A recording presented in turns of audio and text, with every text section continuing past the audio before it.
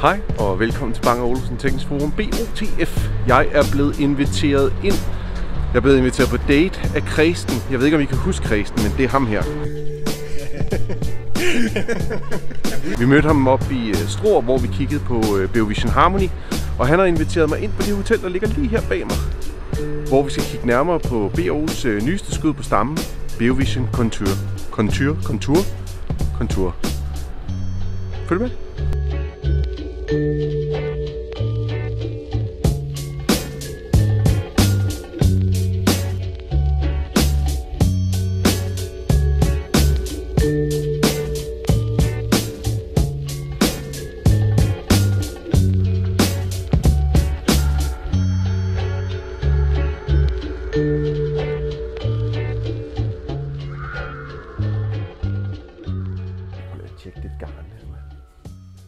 Så er vi inde i Hotel Auto, og øh, min date er kommet. Hej Christian. Hej Henrik. Corona. Godt Velkommen at se til. dig igen. Jo tak i lige måde. Det er jo... Hold nu op. Jeg, jeg, jeg, jeg, jeg har set billeder på nettet, og det har I øh, alle sammen jo garanteret også. Øh, blandt andet kunne man jo se det i jeres egen app lidt før tid. Ikke så heldigt. øh, men, ej, Vi kunne ikke vente med at vise det kan du fortælle mig lidt om det? Det kan du tro. Så det vi har lavet her, det er jo det, man vil kalde en, øh, en rigtig Bang Olufsen løsning. Vi har virkelig gjort os umage med at lave det flotteste tv, som vi kunne forestille os. Vi har gjort os umage med materialerne, vi har gjort os umage med at rydde op i øh, ledningsroderiet, og vi har givet, gjort os umage med, at man kan placere det fjernsyn lige, hvor man har lyst til at placere det henne derhjemme. Så øhm, udgangspunktet for den, og det som også har givet inspiration til navnet, det er aluminiumsrammen. Og Bang Olufsen er jo kendt for deres øh, aluminiums øh, bearbejdning. Vi har vores egen fabrik i Struer, som I sikkert ved de fleste af jer. Og til den her har vi lavet en virkelig, virkelig flot ramme. Vi har givet den lidt form udenpå. Den er lidt kurvet her, den er også lidt kurvet indeni. Og så har vi faktisk lavet en øh, ny overflade på den også, hvor vi har startet med at polere den op, og så har vi tonet den lidt ned igen. Så det, det gør, det er, at den øh, reflekterer rummet og får øh, rammen til at, at se slank og lækker ud, og samtidig med at genere den ikke ved at lave refleksioner ind i billedet. Så det er det kompromis, vi har prøvet at balancere herom. Og rammen løber hele vejen rundt om skærmen, og inde i den svæver stoframmen, som sidder foran lyddelen. Der er en rigtig, rigtig god lyddel i den, som vi kan komme tilbage til om lidt. Og den har vi ligesom lavet, så den svæver inde, så spalterne er relativt store, men det er bevidst for at give det her lette udtryk og lave det sådan, så man læser rammen, og at der inde i den sidder den her smukke lyddel. Den kan man få med forskellige materialer. Vi kan lige gå rundt. Vi har lidt forskellige eksempler med, vi kan vise jer i dag. Den overflade, der er på aluminium herinde i, har vi givet noget tekstur. Sådan, så den minder lidt om øh, stoffet, der er her på. Så i modsætning til rammen, som er helt glat og blank, er der her øh, sådan en slebet struktur i, for at give den lidt mere karakter, øh, som vi også synes passer rigtig godt til den måde at, at præsentere til at øh, designe på.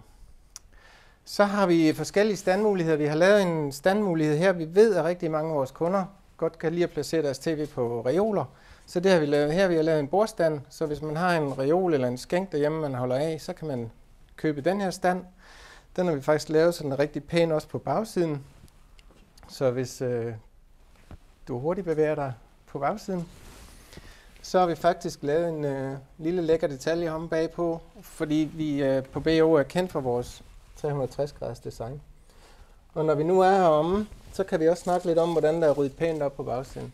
Vi, øh, vi har fundet ud af, at vi ligesom har to slags kunder. Der er dem, som er lidt på vej og ikke er helt etableret endnu i deres hjem. Til dem foreslår vi, at de køber en Beosound Stage, og så kan man købe vores nye gulvstand, og der kan du købe lige den skærm, du har lyst til. Vi anbefaler selvfølgelig en LG-skærm, fordi så er det integreret med vores øh, fjernbetjening. Men du kan købe lige den skærm, du vil. Til gengæld er det så ikke ryddet helt så pænt op, for der har vi ikke kontrol over ledningsføringen bagpå. Hvis du vælger at købe det her tilbud fra os af, der har vi valgt skærmen, lydkonceptet er lige så godt, og så har vi fuld kontrol over, hvordan ledningsføringen er. Så de her to paneler bagpå kan tages af, så kan du ordne al din ledningsføring, og den kommer elegant ud af hullet her midt på bagpå og ned bag ved din skænk. Og så er der ryddet fuldstændig op. Der findes ikke smukkere løsninger på markedet. Nu er jeg jo virkelig fræk, når jeg siger det, ikke? men jeg kalder jo det her for sådan Dubai edition.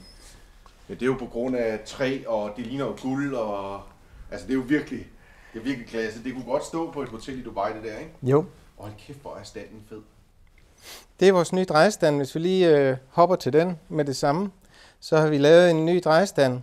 Øhm, det vi normalt har på vores stand, det er jo det er en fodplade. Her har vi lavet, øh, der er hul midt igennem, så dit øh, materiale, du har valgt på gulvet, det kan du se ind igennem ringen. Og så røret herom, som holder tv'et, når man drejer med det, så ser det nærmest sådan helt magisk ud, at den der ring, den bevæger sig let og elegant henover.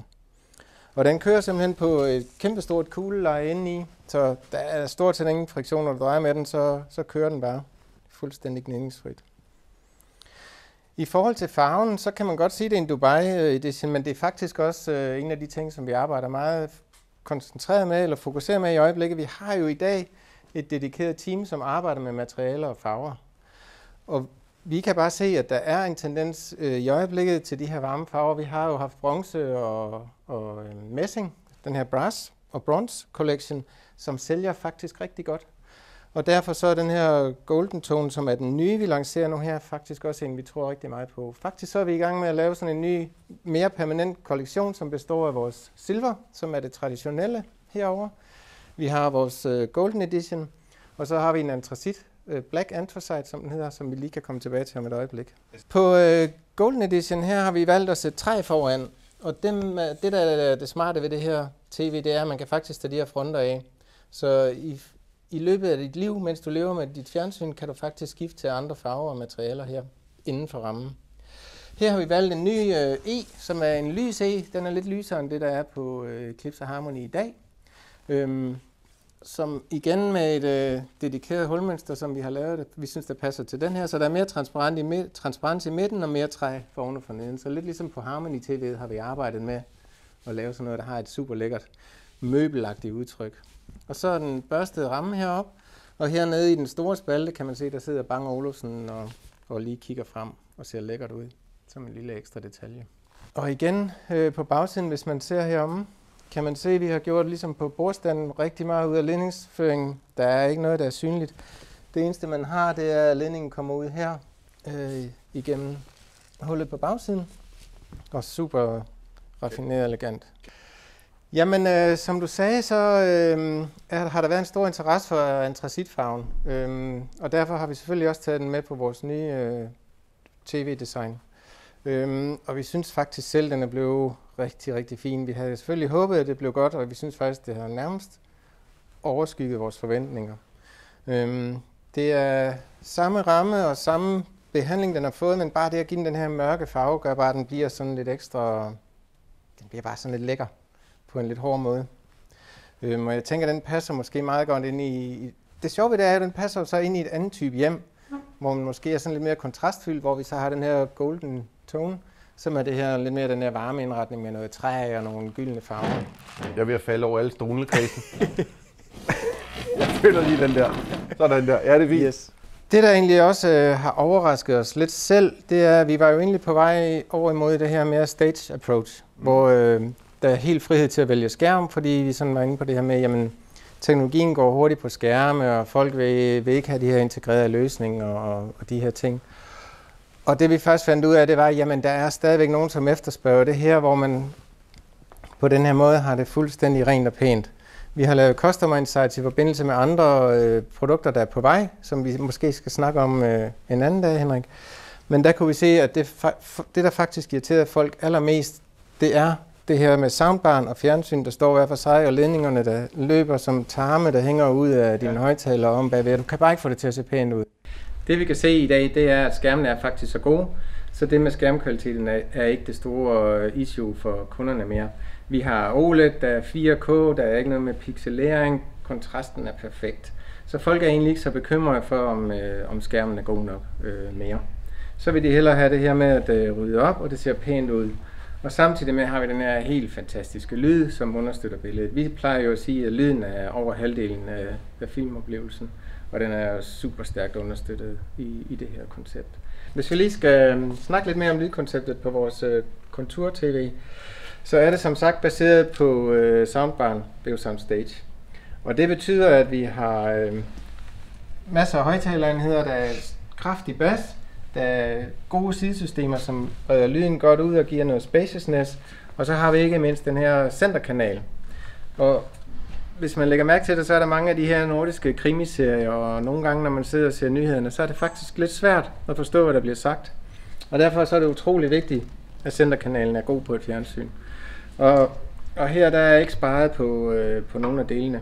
Og samtidig med, så er Beosound Stage også anerkendt som en af de få, hvis ikke den eneste soundbar på markedet i dag, som virkelig kan afspille lyd.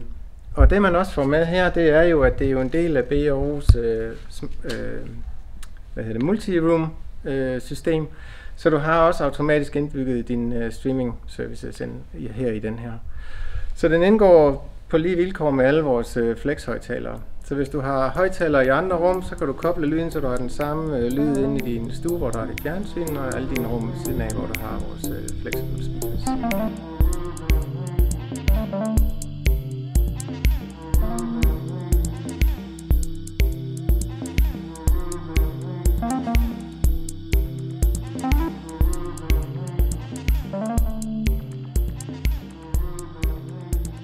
Hej Ole. Ja, hej med dig. Velkommen til Bang Olufsen Teknisk Forum. Jo, tak. Det er første gang, vi mødes. Det er det. Det er det, ja. Det, øh, hvad, hvad, hvad, hvad laver du? Øh, hvad, hvad er din titel? Og hvad laver du? Jamen, øh, min titel, det er produktchef. Ja. Og øh, det, jeg arbejder med, det er tv. Ja. Og det har jeg gjort øh, ja, de sidste 10 år, 12 år på Bang Olufsen. Ja. Så ja, det er egentlig min baggrund. Ja. Ja. Og øh, jeg har fået at vide, at jeg må spørge dig om teknik. Det, øh, jeg skal prøve at svare så godt som jeg kan. hvad, hvad for nogle produkter har du været indblandet i, Ole? Jamen, altså, øh, de seneste, vi har lavet nu her, konturen selvfølgelig, Eclipse, Harmony, Avant, Ja. har vi med i. Jeg har været med i øh, nogle af de første Biosen 4, vi lavede, plasmaskærmene, vi lavede der. Ja. Biosen 14, Horizon. Nå, okay. Ja. Så du er en gavet. Ja, jeg arbejder med det i nogle år efterhånden, ja. ja. Hvor mange år har du været ved Bang Olufsen? Jamen, øh, jeg er en af dem, der sidder på den der Hall of Fame derinde. Nå, jamen den har jeg Kantinen. set. Ja, ikke også? Ja. Ja. Og øh, der er det nogle år siden, jeg kom ind som øh, med 25 års jubilæum, så øh, jeg er godt på vej opad. Hold da op. Ja. Så, Jeg har nogle spørgsmål til, øh, til, øh, til det her kontur. ja. Og et af dem der, jeg vil gerne vide, øh, hvad, hvad er den store forskel fra det her, nu hvis vi bare snakker lyddelen, og så på Beosound Stage? Det er sådan set den samme, det er den Ja. samme platform, vi genbruger. Så det er egentlig, kan man sige, i konturen, det vi egentlig gør der, det er, at vi bruger den samme teknologiplatform, som vi har i Biosound Stage. Så det er fuldstændig den samme, vi, vi genbruger her i her. Så det betyder rent lydmæssigt, så er det egentlig den samme lydperformance, som du har i vores Biosound Stage, vi bygger ind i den her skærm her. Har jeg flere HDMI-inputs? Øh, ikke i soundbaren. Igen, fordi vi bruger den samme, øh, skal man sige, platform, som vi har i Biosound Stage. Så hvis du skal bruge flere øh, HDMI-stik, så bruger du dem, der sidder bag i selve tv'et, altså i LG-tv'et. Det er dem, du skal bruge der, ikke? Er det et øh, LG GX eller CX-panel, der sidder i? Det panel, der sidder her i, det er CX. Ja. Det er deres 48-tommer CX. Okay. Som, ja, den findes faktisk også kun i CX-versionen i dag. Så det er den, vi bruger. Ja. Har man øh, planer om at øh, lave det måske i en 55-tommer? Nu skal vi se reaktionen på den her først, øh, hvad vi så gør. Så det har vi ikke besluttet noget om endnu. Men øh, lad os lige se, hvordan vi kommer afsted med den her. Ja. Men forløb har det været meget positivt, de tilbagemeldinger, vi har fået fra dem, der har set den. De forhandlere, der har set den allerede. Så Er der 11 højtalere i den der? det er det, ja. Ligesom øh, Yes. Station, så det er faktisk præcis det samme som er Station. Der er ikke noget udover. Det er der ikke. Det er Okay. der ikke, nej. nej. Så det er jo rent faktisk en stage med et CX-panel Yes, i en flot indpakning. yes, det er det, vi gør. Okay. Hvad er øh, prisen på, øh, på et øh, CX 48-tommer og en stage? Station, den koster 11.000, ikke? Øh, den koster 11.000, ja. Og 48-tommeren koster, hvad, en 7-8.000? Øh, skærmen, nej, Ja. den, der koster 11.000 i dag. cirka. Okay, så det er 22.000. Det er 22, ja. Okay, så for at få den løsning pakket pænt ind i aluminium og det ene og det andet, så er vi i lige omkring 40. Det er vi, ja. Okay, Så, og så så skal du huske, øh, og så er selvfølgelig remote. Inklusiv remote? Yes, yes, det er inklusive remoten, ikke? Er det inklusiv vægtbeslag også? Ja. Og virkelig, ja. Nå, okay. Ja, så, det så, så det, er, øh, det er inklusiv... Øh, Altså det er det hele, så, så du egentlig har en løsning, kan man sige. De 40.000 er baseret på, du har skærmen, soundbaren, altså Bøsen kontur, du har remoten, øh, du har et øh, vores manuelle væ- væbeslag, drejbart vægbeslag. Det er med i prisen, der er. Kommer der noget øh, motoriseret vægbeslag eller motoriseret gulvstand? Nej, det gør der ikke til den her. Øh, den her kommer til at køre med det manuelle, ligesom vi har haft tidligere på Horizon. Øh, hvis man ønsker de der funktioner der, så er det jo sådan Eclipse, man skal over i, øh, Okay. for at få de der løsninger der. Så det her er det, man kalder for en entry-level BioVision. Altså, jeg vil, jeg, hvis jeg skulle sige entry level, så vil jeg sige, det er sådan set vores Biosound 6 soundbar. Der er Okay. det. det er den, hvor vi får Bang Olufsen-lyden til hvilken som helst skærm på markedet. Det er ligesom det, den skal gøre for os. Øh, jeg, vil kalde, jeg vil kalde det her, det er vores, øh, jeg vil kalde det nærmere et, øh, et, øh, et small screen concept. Det er mere det, vi har lavet her. Det er de kunder, som synes, de andre skærme er for store, men ønsker Bang Olufsen TV, Bevision. Det er derfor, vi kalder dem Bevision også, fordi det hele er bygget sammen i en. Kunne man... Hvad, hvad, nu, det er fint, den er bygget på en stage. Hvad, jeg kunne godt tænke mig noget, øh, noget mulighed for PowerLink, Ja. noget Visa, Ja, muligheden for surround sound, noget True Image Processor. yes. Hvad er grunden til, at man ikke har valgt at gå den vej? Fordi det har vi i Eclipsen. Så er det Eclipsen, man skal købe, hvis det er sådan. Det er prisen for at få de funktioner. Det ligger i Biosen Eclipse. Det er derfor. Kunne man forestille sig, at man i fremtiden kunne bruge sådan noget som øh, BioSound Balance, BioPlay M3, M5, whatever, nok ikke M5, men M3, øh, noget BioSound 1 og 2, ja. som noget baghøjtaler til sådan et fjernsyn her, bare trådløst? Øh, det kommer ikke til at ske på den platform her. Ikke på den platform, jeg har her. Den platform, vi bruger her, er, skal man sige, en standalone platform, vi bruger her i Biosound States, ligesom vi kender i dag. Og det er det, det kommer til at køre videre med. Så det man, det, man kan sige, man har i den her, det er vores multirums øh, funktionalitet, man har, øh, hvor du kan bruge den som, som dit lydsystem samtidig med, eller som din ekstra højtaler, hvis du vil bruge den som det øh, i et andet rum samtidig med. Så den vil ikke på sigt kunne opgraderes til noget trådløst bagkanaler eller Nej, sidekanaler? det, eller det, noget? nej, det skal man ikke regne med. Ikke på den her løsning her, nej. Okay. Det gør vi ikke på den her. Og man kan sige, en af de ting, vi også ved, det er, man kan sige, at vi har Biosen Horizon, som er den, den udgår nu her. Øhm, der har vi haft muligheden, øh, siden vi lancerede den med Weiser og det hele. Men vi kan også se, hvor, hvor ofte det bliver anvendt, og det er øh, ganske få øh, kunder, der egentlig anvender den. Så det vi kan se på Horizon, det er mere som et, et standalone tv, der står i hjemmet, det vi bruger som det. Så det er også en årsag til, at vi, sagt, vi kan sagtens bruge det her uden den funktionalitet. Det har vi i Eclipsen. Jeg ser det her fjernsyn som enten et soveværelsesfjernsyn eller et køkkenfjernsyn. Eller til en stue, der ikke er særlig stor, og der giver det måske heller ikke super meget mening at sætte fem højtalere til. Nej, fordi folk, der køber den, altså det er det, vi, hvis vi skal, når vi skal definere målgruppen for det her tv her, skal man sige, så er der to typer af kunder, der, der vi, vi forestiller os, der køber ind i den her. Den ene, den kunde der, det er den, som gerne vil have Bang Olsen Biovision oplevelsen, altså design, lyd og de ting der, men som ikke har plads til det store tv, øh, eller ikke ønsker et stort tv i, i stuen der, jamen der har vi jo en elegant løsning her, synes vi selv i hvert fald, i den her løsning. Og så har vi de kunder, skal man sige, de der loyale kunder, som typisk har et stort øh, tv i forvejen i stuen, men som ønsker Bang Olufsen oplevelsen i andre rum, betjeningsmæssigt osv. osv. som så bruger den i et sekundært rum, øh, øh, køkken eller hvor det nu kan være. Ikke? Ja, altså, og Network Link altså, er jo Ja, en ja. kæmpe stor del af det. Ja, ikke? det er nemlig Ja. ja. præcis. Så du har hele multirums funktionaliteten i den. Det tror vi er vigtigere, end det at du kan koble ekstra højtaler på i stuen. Det er jo sådan stage teknologien, øh, og kan man sige, den performance, vi har deri, er jo øh, super god øh, i dag. Og du finder, du finder jo ikke et tv øh, i den her størrelse med den lydperformance, som vi har her. Øh, og det vil vi gerne promote. Og det er derfor, i meget af vores annoncering, kommer vi til at tale omkring øh, timeless design og award-winning sound. Og det der award-winning, det ligger det refererer til alle de der, skal man sige, positive reviews, vi har fået på Pearson States, som egentlig bliver, vi gentager i den her, ring med den lydperformance, vi har herinde.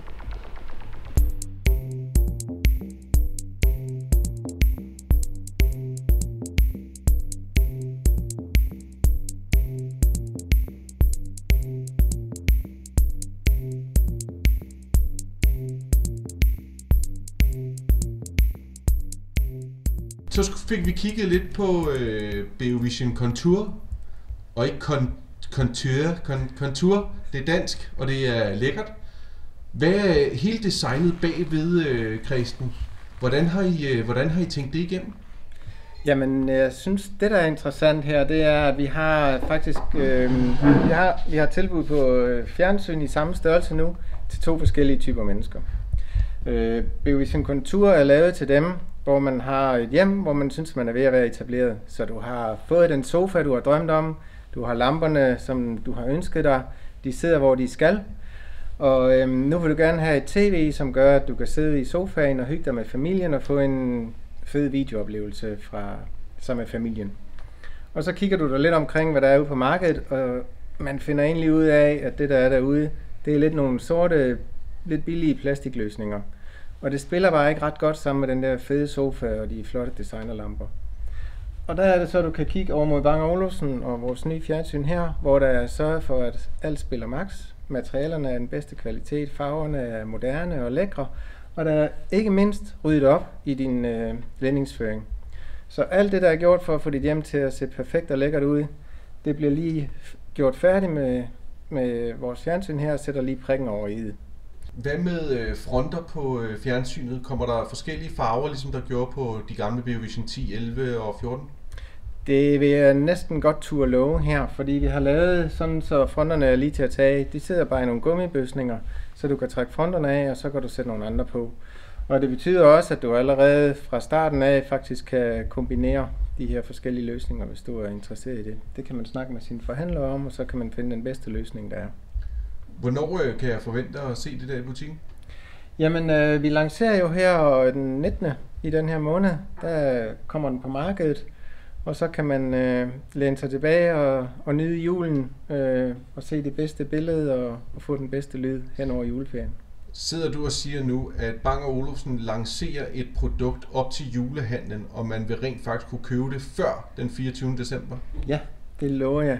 Det er og første jeg, gang, det nogensinde er sket. Ja, og jeg er også lidt over, at jeg ikke havde jule, eller, ja, julehatten med og, og det store lysskæg. Så ja. Nå okay, ja, så der har I da oppet, ja. Ja, jamen vi prøver hele tiden at forbedre os. Ja. Det gør vi. Og det er jo ikke på mangel på øh, lyst og vilje, der Nej, gør det. det kan jeg forstå. Det ser godt ud. Ja. Samtidig med øh, de her muligheder for forskellige øh, farver og materialer, så er der også de der forskellige stande, som, øh, som vi mener giver mening. Og der er vi jo måske de bedste i verden til at, at udbyde forskellige placeringsløsninger. Så vi har den nye gulvstand, som er den her cirkel, hvor man kan kigge igennem, og, og stangen, der holder fjernsynet, nærmest svæver hen over gulvet. Og så har vi en super lækker bordstand, sådan så hvis man har købt den flotte skænk derhjemme, øh, så kan man stille sit fjernsyn oven på den. Og sidst men ikke mindst, så har vi vægbeslag til dem, som bare ikke vil have noget, der står på nogle flader, men bare hænger smukt på væggen. Og det er en, en vægbeslag, hvor du kan trække den ud fra væggen og dreje den både til den ene og den anden side. Christen, hvad med øh, prisen på grisen? Jamen, vi synes selv, vi kommer med et rigtig godt tilbud. Så man starter fra omkring 40.000 kroner øh, fra basisversionen, og så hvis du vælger dyre materialer, for eksempel træ, så er prisen lidt højere, og nogle af standene er også dyrere end de andre stande. Men man kunne godt starte ud med at købe den billigste model, øh, ikke ens betydende med, at det er en dårlig model, fordi det er jo et virkelig lækkert produkt, og så senere hen vælge at opgradere til noget træ og Lige præcis. Så du okay. kan skifte materialerne, og du kan også øh, skifte mellem standprogrammerne. Der er ikke nogen bindinger der. Hvad, øh, nu, nu har jeg kun set en træversion. Kommer der smoked oak, valnød? Øh, er det noget, I kigger hen imod? Jamen det er det, og vi følger hele tiden med i, hvad der er, der sælger, og vi har jo et udvalg på vores produkter nu, og derfor kan vi også følge lidt med i, hvad det er for nogen, øh, som folk gerne vil have. Og det er klart, at vi vil jo gøre alt, hvad vi kan for at, at gøre vores kunder glade og, og levere de løsninger, de gerne vil have. Så ja, absolut der, der, der vil ikke være nogen begrænsninger der. Man kan sige, det vi vil prøve at vise her, det er en, det er bare lige for at vise, hvordan det, hele lydperformance er opbygget i den her. Og igen, det der med, at man kan skifte fronten, det kan vi lige vise på den her. Så hvis vi på lige klipper med her. Sådan der. Så når man kigger her, så tror jeg, man øh, vil genkende øh, skal man sige, teknologien fra Biosound Stage med vores øh, centerhøjtalere, der sidder her, midrange og tweeter, vores woofers, der sidder her, og så vores øh, højre og venstre øh, højtaler, der sidder her. Det ligner jo meget en Biosound Stage. Det gør det, det gør det, ja. Men det er vel også planen? Det er, jo, det er jo det, der er planen, fordi vi genbruger den teknologi, vi har der, ja. Som vi er super stolte af. Lige præcis. Og der er sikkert nogen, der vil lægge mærke til, hvis det, dem, der, der kender Stage, de vil garanteret lægge mærke til, at der sidder den her. Og det er altså en ekstra køling, der sidder her. Ekstra køleplade, der sidder lige her. Man kan se, der sidder her. Så det er en af de få ting, jeg lavede om. Og så kan der være nogen, der spørger efter, hvor er mine øh, lokale øh, betjeningsknapper? Ja, de er så forsvundet. Dem har man ikke på tv. Men vi har trods alt lavet således, at du har din øh, Bluetooth pairing. Den sidder over bagpå nu her, Ja. så du kan bruge det her. Ikke? Okay, det giver også meget god mening. Ja, så du kan dit mobil device og de ting der. Men de andre, dem har vi altså, dem har vi fjernet på tv'en her. Og øh, som, øh, som Ole siger, lyden i kontur. Nu har jeg jo hørt den, og den lyder exceptionelt godt. Altså, det er jo ligesom at, at få en øh, BO Sound Stage øh, på fuld hammer, bare ind i et rigtig, rigtig eksklusivt og lækkert design. Ikke at, ikke at Beosound Stage ikke er et lækkert design, fordi det er den absolut. Men som jeg ser det for eksempel hjemme hos mig, øh, jeg vil jo gerne have sådan en her i køkkenet, øh, eller i soveværelset. I soveværelset har jeg mit Beovision 11, øh, hvor at det her kunne være en rigtig fin afløser, netop for at få den nye platform, som er hurtigere. Øh, og jeg synes faktisk, hvis jeg skal være helt ærlig, så synes jeg faktisk, at den er pænere end Beovision 11. Det gør jeg faktisk. Bum. Kristen og Ole, det har været en lang dag for jer. Det har det. I skal hele vejen tilbage til Struer i dag. Yes. Skal I have alle fjernsynene med? Ja, det skal vi. Pakker I dem selv ned?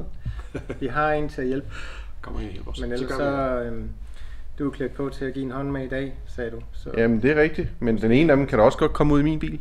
Jamen, det kan da godt være. Vi kan da prøve, at vi kan mase den ind. Det tror jeg faktisk ikke, vi kan. Det er ikke sikkert. Så må du låne en. Men vi kan, vi kan give det et forsøg.